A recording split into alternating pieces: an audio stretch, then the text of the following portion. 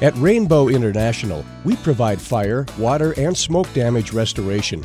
Our professional technicians specialize in carpet care, upholstery, and drapery cleaning and mold remediation. Whether you're looking to have a family heirloom cleaned or your business restored after a flood, turn to us for service you can trust.